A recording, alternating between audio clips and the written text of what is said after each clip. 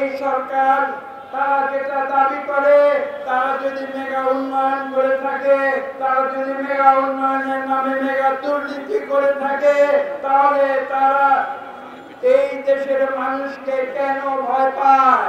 তাদের ভোটকে কেন ভয় পায় তারা?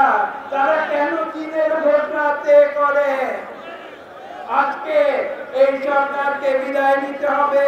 বাংলাদেশের মানুষের অধিকার পুনঃ প্রতিষ্ঠা করতে হবে।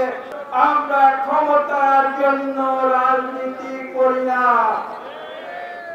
আমরা আজকে যেখানে দাঁড়িয়ে আছি, উনিশশো ছিয়ানব্বই সালে এই রাজপথের উপর দাঁড়িয়ে দেশ নেত্রী বেগম খালেদা জিয়া স্বেচ্ছায় বাংলাদেশের প্রধানমন্ত্রীর পর এই রাজপথে ছুড়ে ফেলে দিয়েছিলেন। তিনি প্রমাণ করেছিলেন, তিনি জনগণের জন্য রাজনীতি করেন, ক্ষমতার জন্য নয়। কাজে আজকে গণতন্ত্র হত্যা দিবসে আজকে বাংলাদেশের মানুষকে নতুন করে এই শপথ নিতে হবে। যে যে কারণে আজকে থেকে পঞ্চাশ বছর আগে বাংলাদেশ তথা তৎকালীন পূর্ব পাকিস্তানের লক্ষ লক্ষ মানুষ জীবন দিয়েছিল। সেই গণতন্ত্রকে ইনশাআল্লাহ আমরা পুনরুদ্ধার করব। দেশনেত্রী বেগম খালেদা জিয়ার বিরুদ্ধে মিথ্যা রাজনৈতিক মামলা দেওয়া হয়েছে। সেই মামলা থেকে তাকে আমরা মুক্ত করে আনব। আমাদের ভারপ্রাপ্ত চেয়ারম্যান যাকে আজকে এই সরকার বিদেশে আটকে রেখেছে, তাকে আমরা মুক্ত করে এই দেশে ফিরিয়ে আনব। আমরা জেল থেকে মুক্তি চাই না, আমরা আমাদের চিন্তার মুক্তি চাই। আমরা এমন একটি দেশে বসবাস করতে চাই, যেখানে মানুষের স্বাধীনতা আছে, যেখানে মানুষের কথা বলার স্বাধীনতা আছে। মানুষের ভোট দেওয়ার স্বাধীনতা আছে।